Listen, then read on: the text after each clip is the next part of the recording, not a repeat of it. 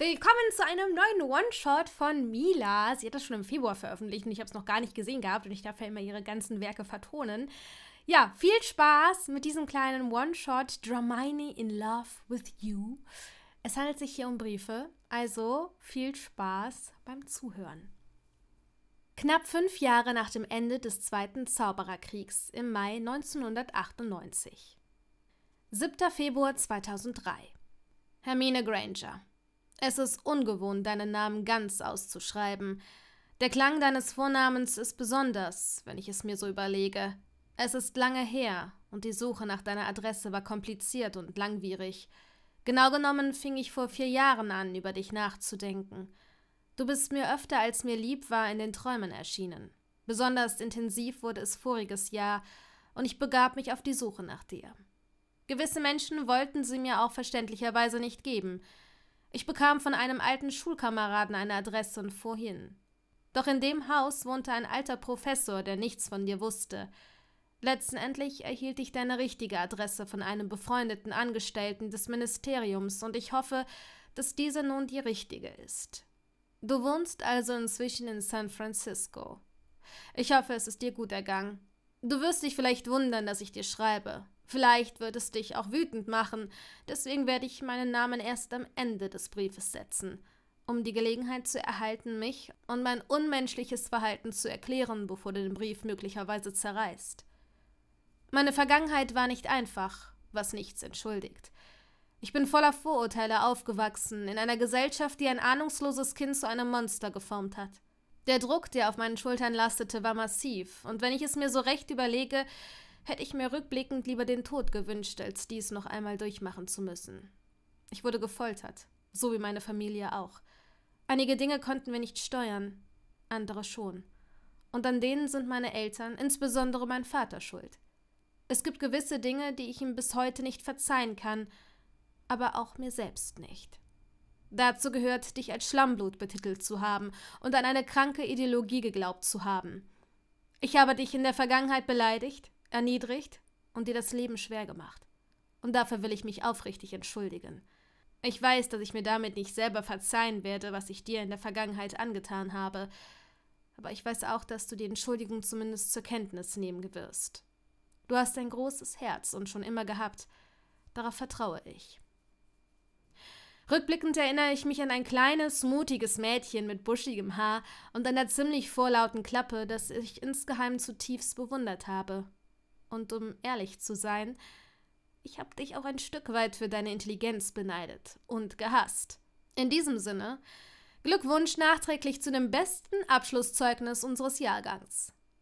Fünf Jahre ist es nun her. Fünf Jahre, in denen ich mein Gewissen nicht bereinigen konnte. Jetzt kann ich es. Und jetzt, wo ich dir schreibe, stelle ich dich mir vor. Dieselben buschigen Haare, dasselbe Feuer in den Augen – erfolgreich in dem, was sie tut. Mit Sicherheit setzt du dich noch immer für die dämlichen Hauselfen ein. Ich werde es wohl nie erfahren. Ich hoffe, dass du diesen Brief bis zum Schluss gelesen hast. Ich bitte aufrichtig um Entschuldigung.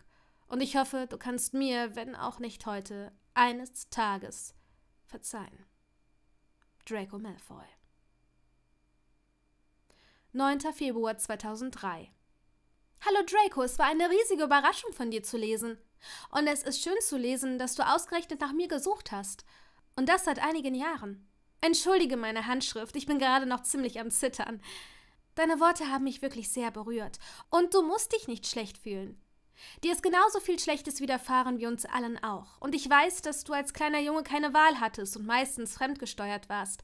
Natürlich hast du viele Fehler gemacht, aber vieles hast du auch richtig gemacht. In vielen Hinsichten sind wir dir bis heute dankbar, Du hast viel zu dem Frieden beigetragen. Und wie ich aus dem Brief herauslesen kann, ist aus dir ein großartiger Mann geworden. Es gibt keinen Grund, weiter an die Vergangenheit zu denken.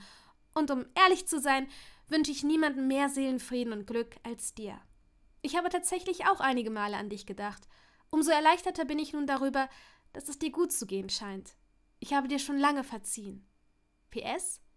Über die dämlichen Hauselfen unterhalten wir uns noch mal irgendwann. Liebe Grüße, Hermine.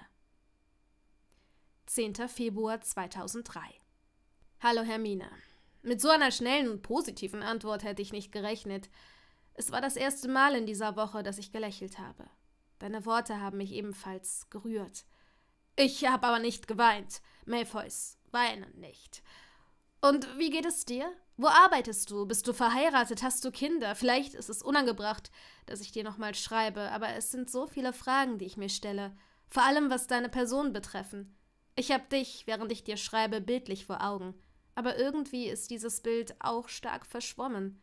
Ich hätte mich gern persönlich bei dir entschuldigt, aber sieh diese Rosen, die ich dir mitgeschickt habe, als Ersatz dafür. Wenn du in einer Partnerschaft oder Ehe lebst, dann entschuldige bitte meine Aufdringlichkeit und ignoriere den Brief und die Rosen. Liebe Grüße, Draco. 11. Februar 2003 Lieber Draco, oh Mann, das ist süß von dir. Tausend Dank für diese Rosen. Das war doch überhaupt nicht nötig. Ich fühle mich unglaublich geschmeichelt und bin immer noch sprachlos. Keine Sorge, ich habe keinen eifersüchtigen Ehemann, der dich dafür umbringen will. Auch keine Kinder. Es schmeichelt mir, dass du so viel über mich nachdenkst. Aber hey, ich bin noch ganz die Alte. Ich sehe auch genauso aus wie damals, nur dass ich meine Mähne etwas besser im Griff habe. Und ich trage jetzt einen Pony. Jetzt, wo ich dir schreibe, frage ich mich ebenfalls, wie du ausschaust. Ich kann mich nur noch an schöne, helle blaue Augen, weißblonde Haare und einen grimmigen Gesichtsausdruck erinnern. Ich bezweifle aber, dass du noch immer so aussiehst. Hast du dich viel verändert? Na super, jetzt zerbreche ich mir ebenfalls den Kopf darüber. Falls du irgendwann zufällig in der Nähe von San Francisco bist, kannst du gerne vorbeischauen und wir trinken einen Kaffee. Dann können wir uns austauschen. Eins vorab, ich arbeite dort im Ministerium. Wer hätte es gedacht? Dein Werdegang interessiert mich aber auch brennend. Entschuldige bitte, falls deine eifersüchtige Ehefrau die Einladung zum Kaffee gelesen hat. In Liebe, Hermine. 14. Februar 2003 Liebste Granger, würde sich meine imaginäre Ehefrau über deine Einladung beklagen, dann würde ich mich scheiden lassen und sie herausschmeißen. Wie gut, dass ich keine habe. Ich muss zugeben, dass deine Briefe ein ziemliches Kribbeln in mir auslösen, oder, um es noch deutlicher auszudrücken, ich bin Hals über Kopf in dich verliebt und kann nicht mehr klar denken, seitdem du mir schreibst, obwohl du mit großer Sicherheit noch immer großartig aussiehst. Aber mit dir fühle ich mich lebendig. Wer hätte es gedacht? Draco Malfoy ist weich gekocht. Wenn du das liest, wird es schon zu spät sein, denn ich bin jetzt wahrscheinlich bereits bei dir und habe dich überrascht. Ob du dich gefreut hast? Ob du meine Gefühle erwiderst? Ich hoffe es. Das Schicksal hat entschieden. Mein Herz gehört dir. Alles Gute zum Valentinstag, Hermine. Dein Draco.